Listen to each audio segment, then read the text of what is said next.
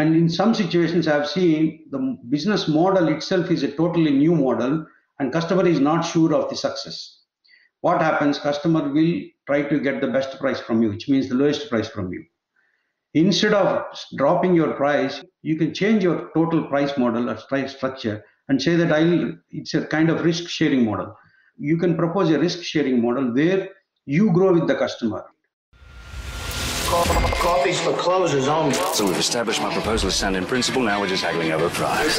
Let's see how much we're going for on eBay. I mean, it's the same as Dunkin' Donuts. Costs 15 times the price.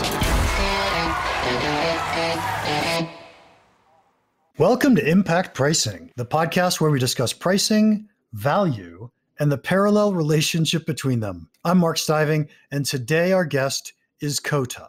Just like Cher, he only has one name. Not really. We'll hear more in a minute. Here are three things you want to know about Kota before we start. He has been working in pricing for 17 years. I'm going to have to do the math to see how long I've been in this because that might be longer than me, Kota. Nice. He's been in many, many sectors, including polymers, oil and gas, telecom.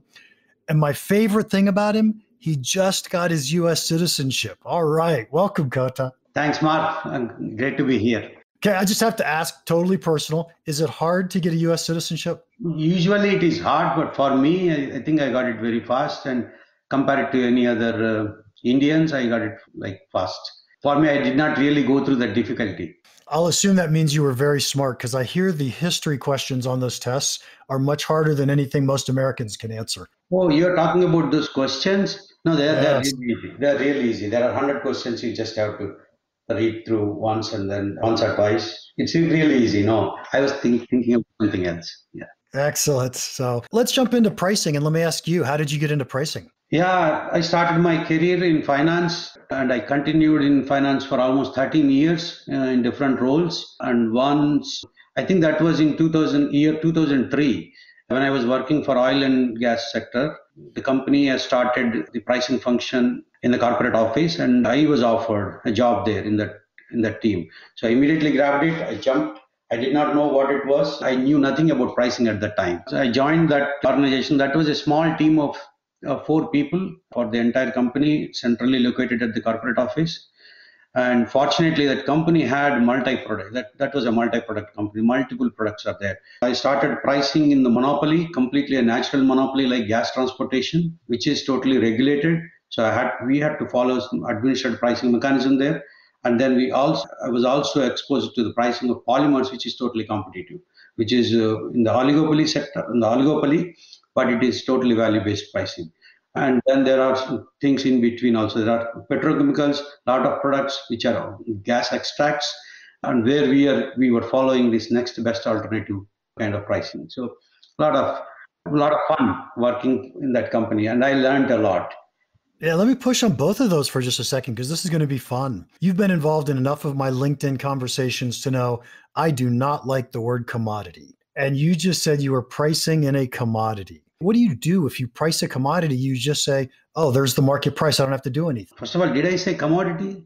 Yeah, I, say, thought- oh, I thought so. it was natural monopoly. It was natural monopoly. Gas transportation is a natural monopoly. It's different from the usual monopoly. Monopoly is when you don't have competition.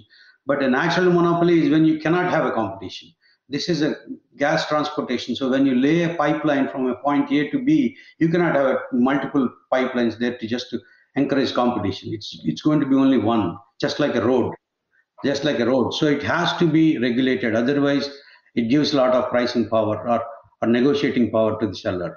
Yes, yes. And so then, since you're regulated, you're probably doing a lot of cost plus, not because it's the right thing to do, but because that's what the regulators force you to do. It's interesting. I thought it used to be usually cost plus, but it is really cost plus, but not cost plus of the, the seller. It is it's like this. So you are allowed to have a certain margin, like IRR, the post-tax IRR of 12%. Let's say, for example, it used to be that 12% of post-tax and post-tax IRR of 12%, but that is not on the cost of the company. It is on the benchmark normative cost.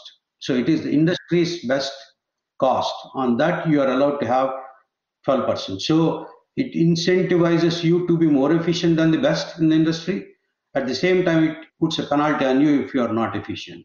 So at least there's incentives to become more and more efficient that way, which is nice. And yet there's still, you know, I come back to the fact that there's still no pricing intelligence behind that because I'm following formulas that I have to use. Yeah, as far as gas transportation is concerned, yes, there is no marketing. There is no not much even negotiations. There is no room for negotiations also with the customers.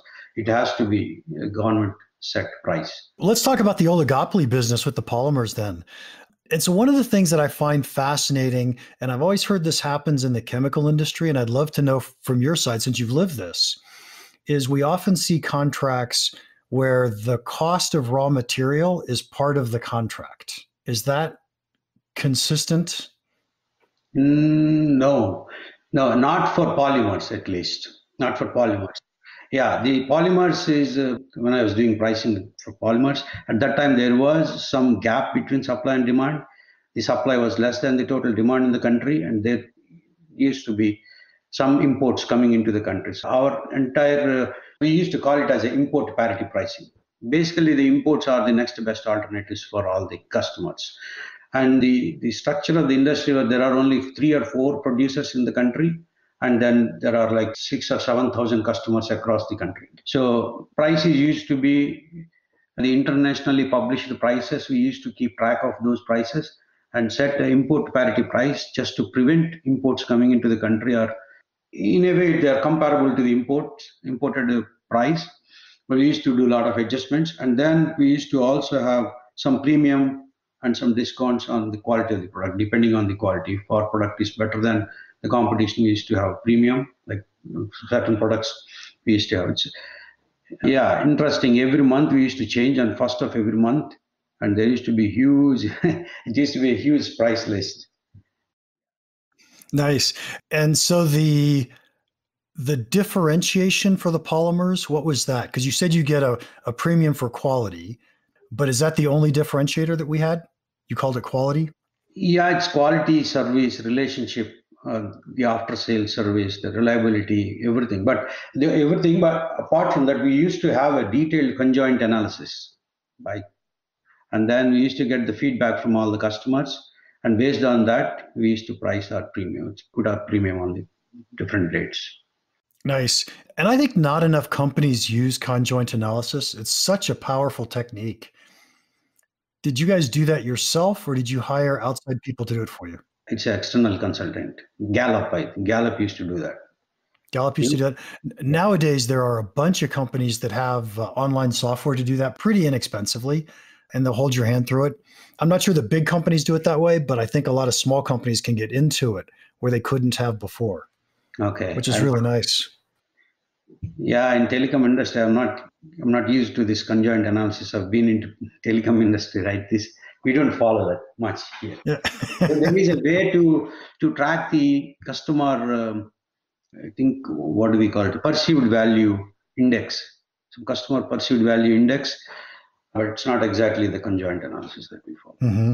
Hmm. Okay. Well, one of the things we said we were going to talk about was pricing models. And I'd love to hear did you put together a framework in your mind for different types of pricing models? Or did you want to chat about a few different pricing models you've used? What's the high level of where we want to go? Yeah, this concept of price models is, I'm, I'm very fond of these price models because in telecom industry, when I joined telecom industry, I started I got introduced to the price models. I never thought about it earlier, but these when, when, when I'm pricing the telecom, it gives a lot of opportunities. Many times, what happens? First of all, the nature of the deals in telecom are the huge, large value deals and very complex, customized solution. And when we put the price, usually it goes through several iterations, a lot of negotiations, including scope, cost, everything, terms and conditions, all that. But usually at some point in time, customer pushes for price reduction, right? What are the options for you? One way is you go, anyway, you go present your value, try to defend your price. And then the other option is you just try, but still you have to move on price. Sometimes you have to offer discount. And if you just if you have to just meet the customer request for price reduction, the only option for you is to just reduce the price, which is not good. You're not doing any you're doing a big disservice to your employer to, to the company. So the best part is there must be a reason why customer is pushing for price reduction. like you mentioned, I've heard many times in your discussions, the value conversations. When you engage in the value conversation and exactly address the pain points that customer is going through, I categorize those pain points into two categories. Two categories. First one is the technical, let's call it as technical pain points, where, for example, a customer may have a huge power consumption as a problem, that, and they want to save on the power, they want to reduce their power consumption, or they want to have some additional customer experience related issues which will ultimately generate additional revenue to the customer. That is part, you know, category, that is a different part, the pain point. So you can address that through your solution, whatever is the product you have, could be an innovative product, you can address that. The other part of these problems or pain points that customer has usually is the commercial related. We may have issues with his OPEX budget. He may have issues with his CAPEX budget or he may have serious issues with his cash flow. Or he doesn't believe this is what i i mean learned over uh, years in my experience. And sometimes customer doesn't believe in your solution itself. He agrees everything but he wants to try but he's not fully convinced or he's not sure. So you have to put a different model in that case. And in some situations i've seen the business model itself is a totally new model and customer is not sure of the success. What happens? Customer will try to get the best price from you which means the lowest price from you. Instead of dropping your price you can you can change your total price model or price structure and say that i'll it's a kind of risk sharing model. We have done that many times. So you can propose a risk sharing model where you grow with the customer. If the business is successful you get money. If this is not successful you get, you get the minimum price so you're taking a risk, you're putting your skin in the game. It's a true partnership spirit. And that way you can change. So just to put names to the pricing models, there are risk sharing model, gain sharing models, pay as you save or pay as you go. And we can convert everything into a OPEX model or a CAPEX model. Yeah, different models are possible. And that is where I thought yeah i hope i'm clear about price model right? I did not define what price model is. I'm assuming that yeah.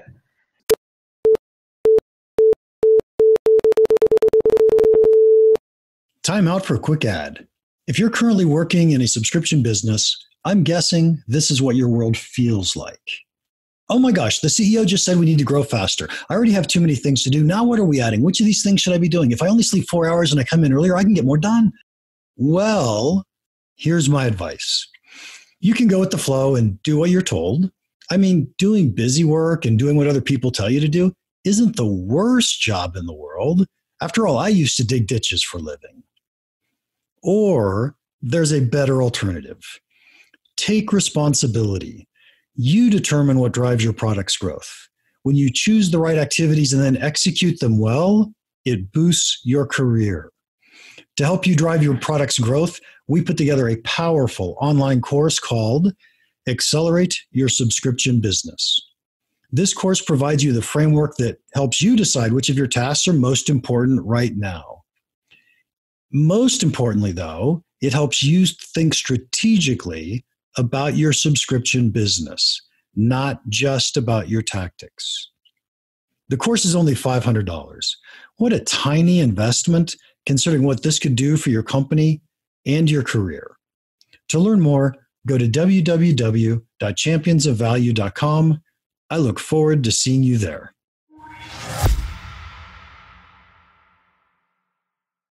So let's take a step back for just a second. When I say the word price model, I tend to think of things like oh, we're going to use a subscription based price model, or oh, we're going to use a freemium price model, or right, and there's a whole, or I'm going to sell by the unit, or by the hour, or by the right. That's the price metric. Yeah.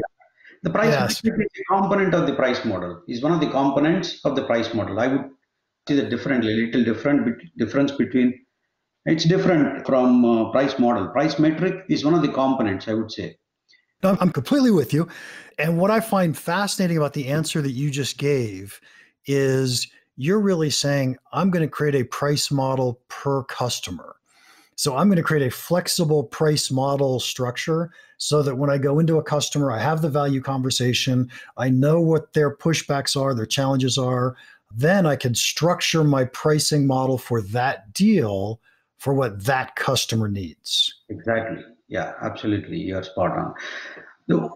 There are some some issues here. That price metric, you, you cannot use any type of price metric. Sometimes you have measurability problems. So some price metrics you cannot measure the actual usage. Then what? Then there is no use in deploying that price metric right in your model and you're using that price metric for example you can say my my price per let's say hd movies i'm just taking one example which is a neutral example of a cable provider they can charge it based on uh, like unlimited model or number of hours viewed or just just hypothetical and it could be a hd or the speed total data downloaded anything is possible but if you cannot measure it, then there is no use in using that price metric.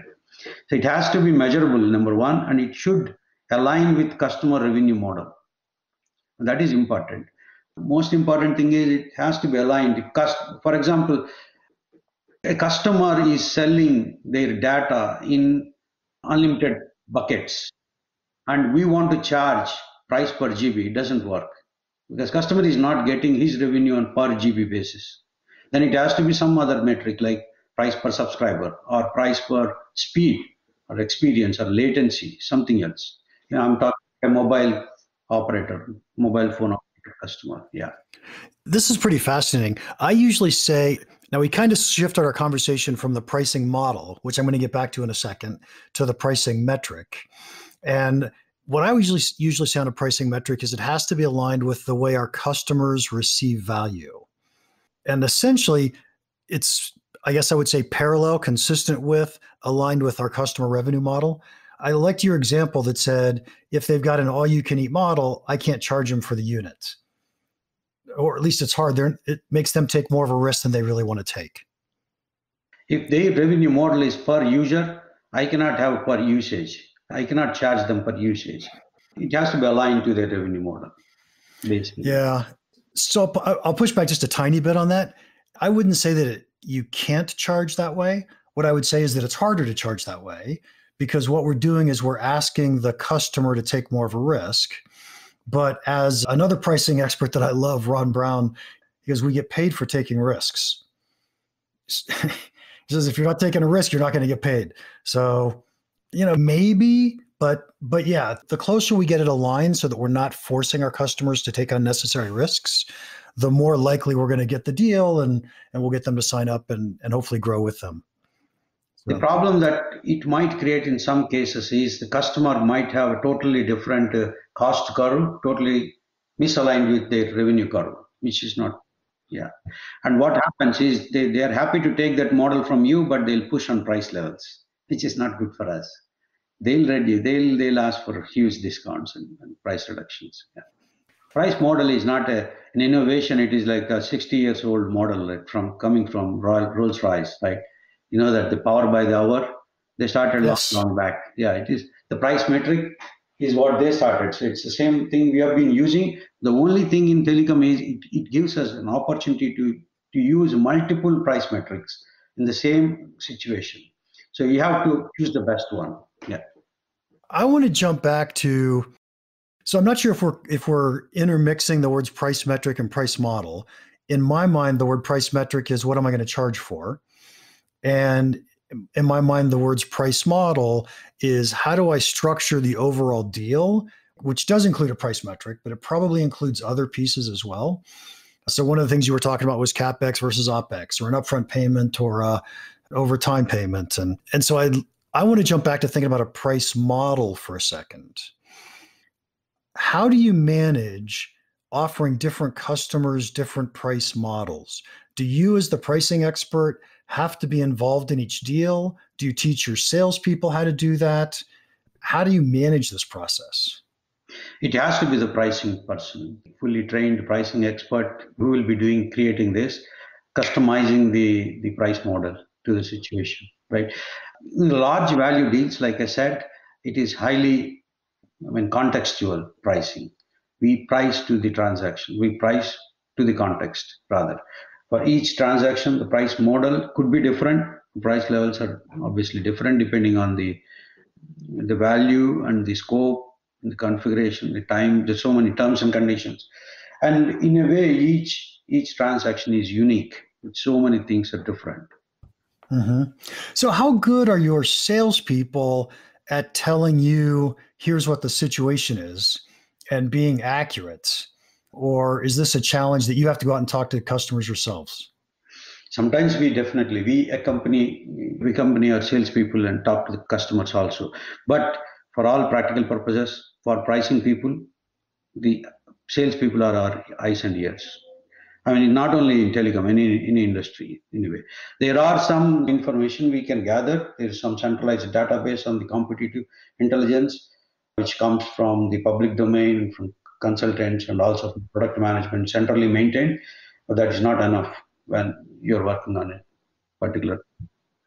Yeah, and and since you brought up the concept of value conversations, this seems like it would be this type of salesperson knowing how to do a value conversation for us would be immensely valuable yeah absolutely yeah but there are different people we see all types of people right there are some people who are just eager to just respond to the customer request on price reduction right so they come back and they say they just like work like messengers and there are good people they are very very efficient in pushing back and they are actually having a good conversation with customer and understanding exact issue and addressing it. Many times it happened to us. I can tell you an example.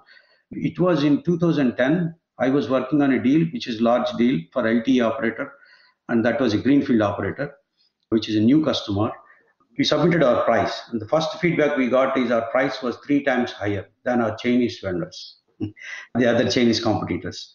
So we don't have any option. There is no way you can go and present your value, uh, value proposition, or show anything. You're not going to get that much. And we don't want to reduce our price. The only thing is either you have to walk away or you have to propose something new. And that is when we actually created a network sharing model.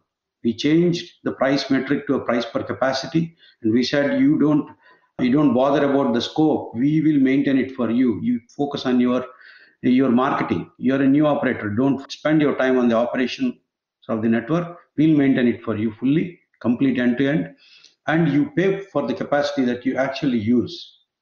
At the same time, you allow us to provide this network as the additional capacity to another tenant. So we created a network which is multiple tenant network.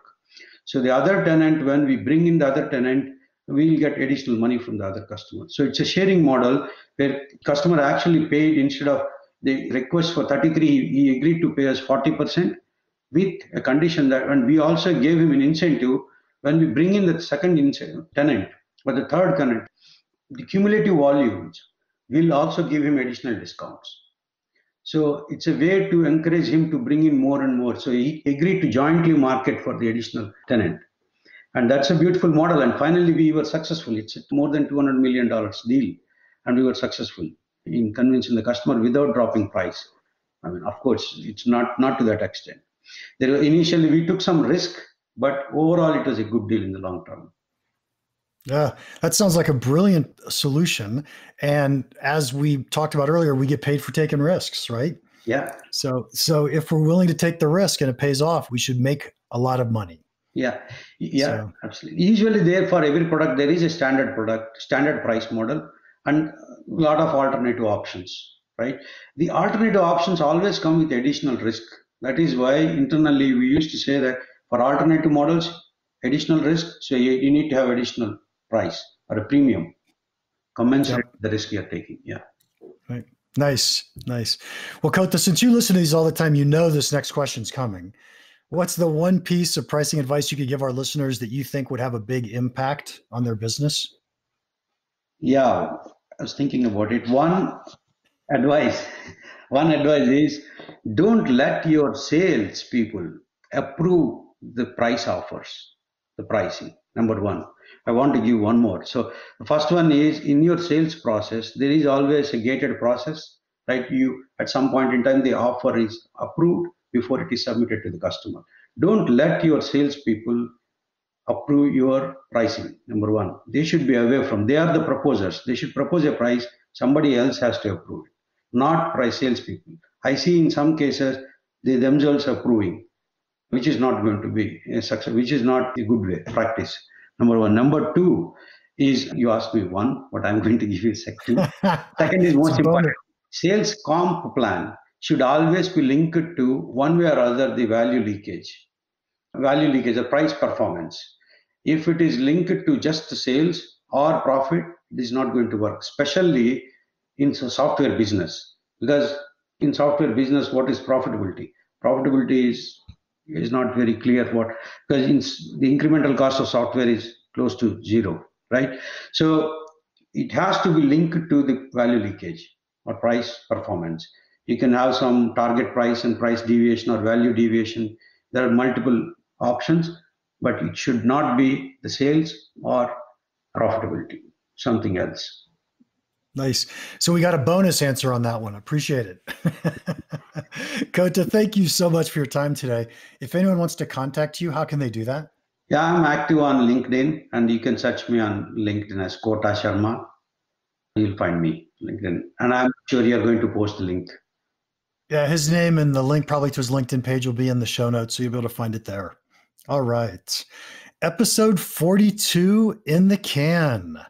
I got to say, my favorite part of today was talking about the pricing models and the fact that they customize the pricing model per customer. I thought that was brilliant. What was your favorite part? Please let us know in the comments or wherever you downloaded and listened. And while you're at it, would you give us a five star review? We would hugely appreciate it.